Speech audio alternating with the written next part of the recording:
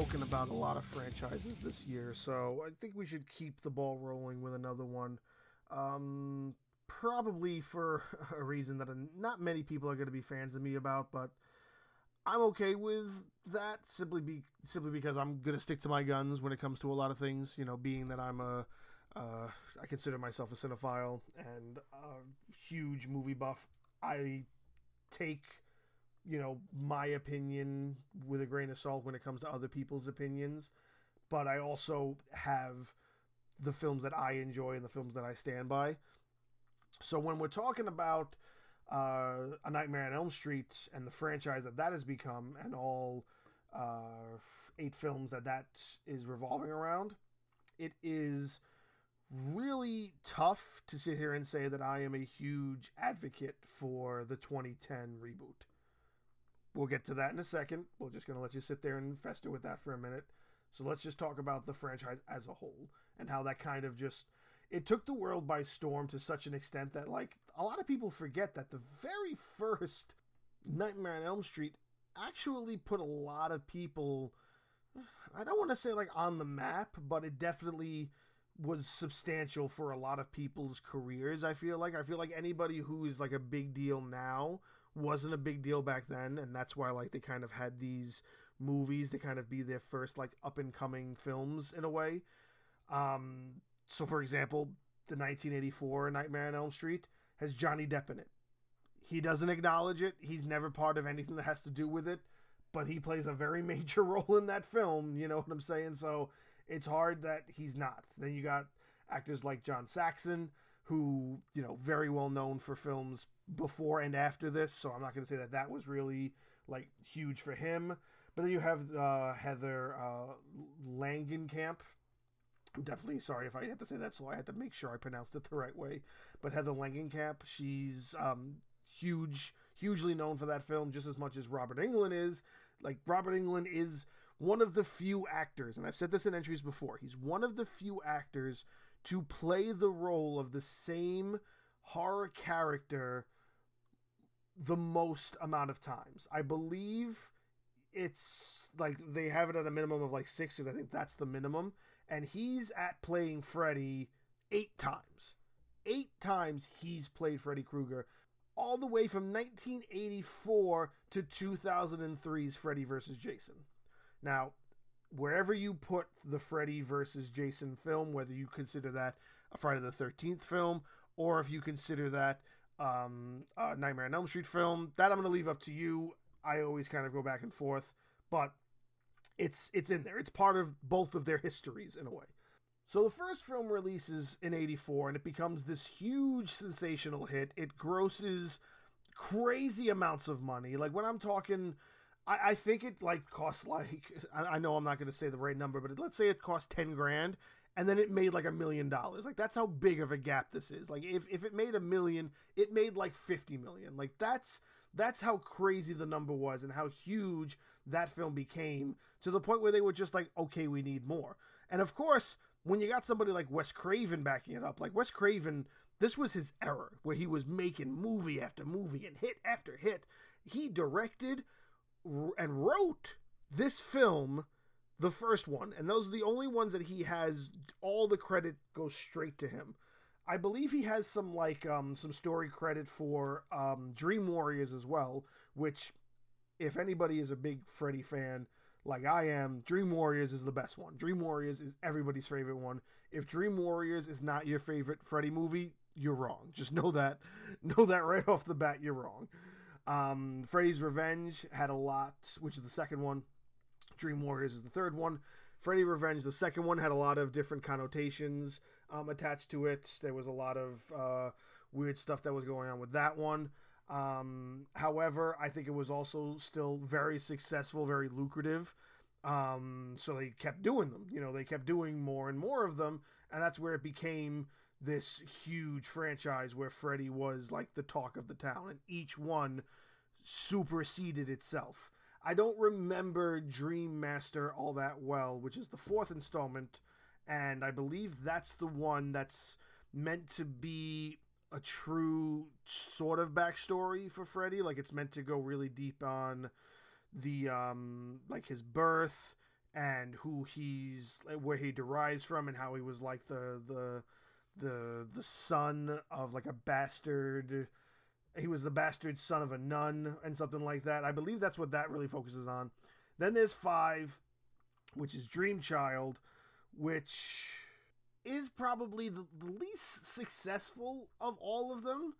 Uh, I, I don't know that one very well off the top of my head. I'm usually good with my Freddy films. I can't remember what Dream Child is about. But then we go into things like Final Nightmare and Freddy's Dead and Freddy.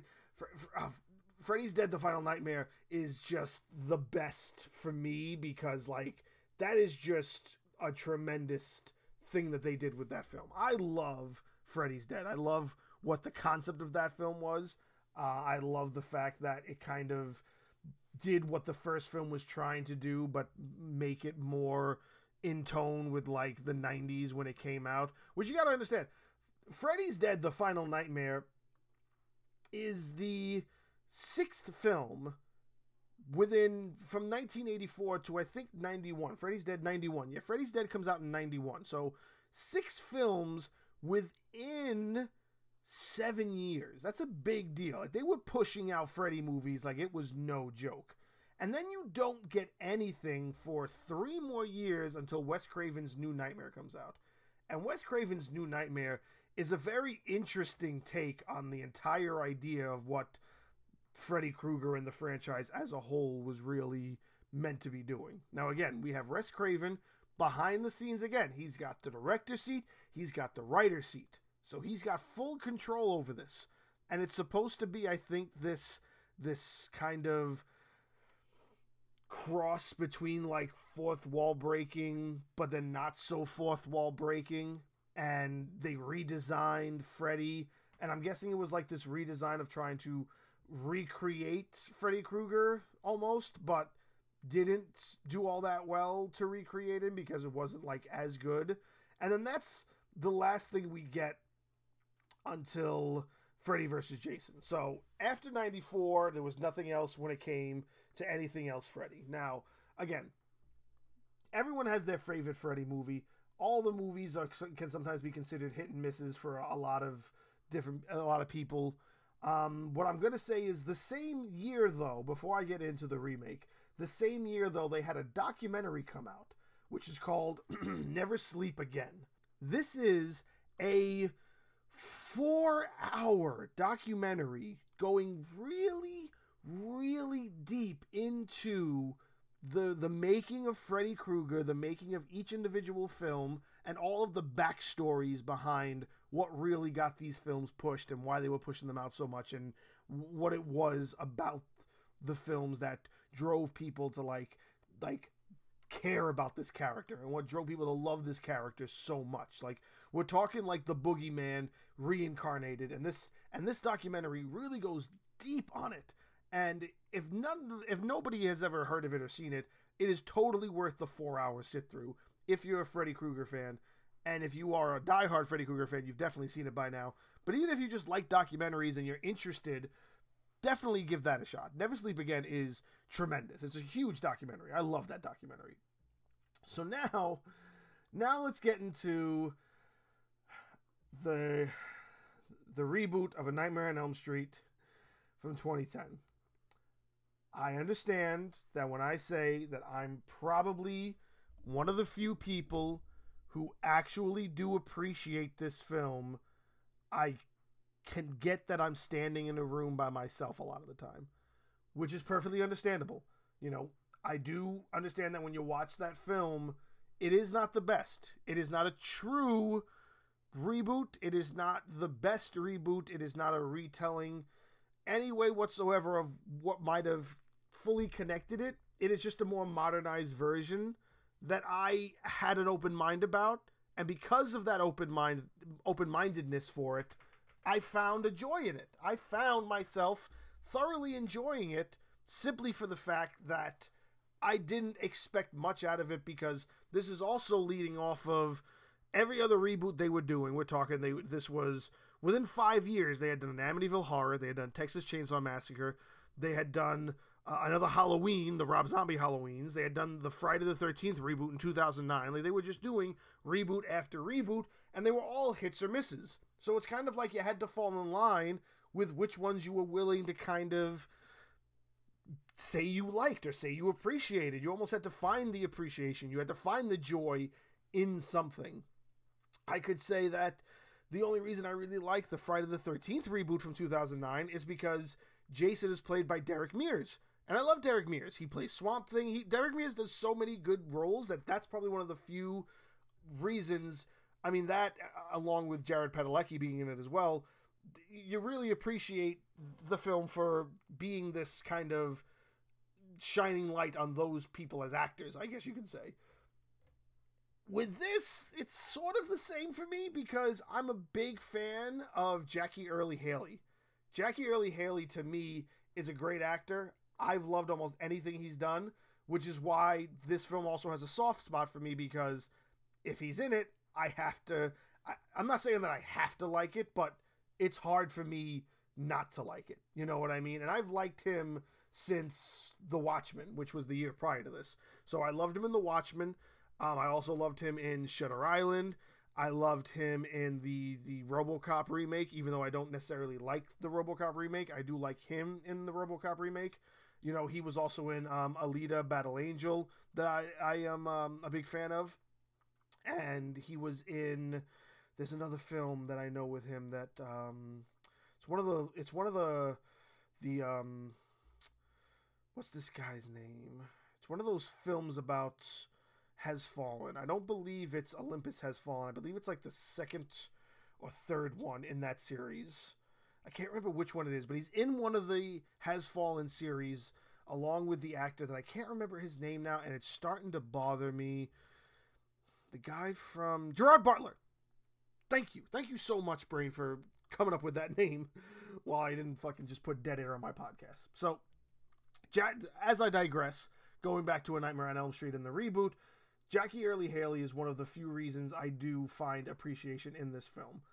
There are some good moments in the film. You know, the film as a whole isn't the greatest, but there are good enough moments that, you know, you find again the appreciation in it. You find the ability to to to get your enjoyment out of it, at least for me. And I know I'm still one of the few people in the world that probably do find the enjoyment out of that out of this film. But like I said before, when it came to this string of about five or six years of just nothing but reboots of classic horror films, whether or not we wanted them, people fell in line and it was kind of an even playing field. I know people that are diehard Friday the 13th reboot fans, but then again, I also know people that fucking hate the Friday the 13th reboot just as much as they hate the Nightmare on Elm Street reboot. I'm not going to say that I've ever run into anybody who is an advocate for the 2010 reboot of The Nightmare on Elm Street, but I'm probably, you know, uh, a great white buffalo who just finds the enjoyment in whatever I can I can scratch out of films and this is up there as something I was able to scratch enough out of to say that it it, it it's something I I enjoy enough to not bash on like everybody else does and all the other stuff that people really give it crap for. I think it was worth it in in a way, you know, out, out of everything, especially when it comes to. I did an entry a couple. I did a couple entries ago, the, the uh, Texas Chainsaw Massacre one. When it comes to whatever they're doing, the whatever the fuck they're doing with that franchise, if I had to hold this up to that, this is still way better than that to me. And maybe I'm the only person that'll say that, but when it comes to this franchise, I'm a huge fan. So it's hard for me to dislike any part of it even though I may not watch them all the time or know all of them right off the top of my head. You know, I definitely would say that I know the 2010 reboot better than I know Dream Child, which is probably sacrilegious if you're talking about people who love these franchises like diehard fans that they are.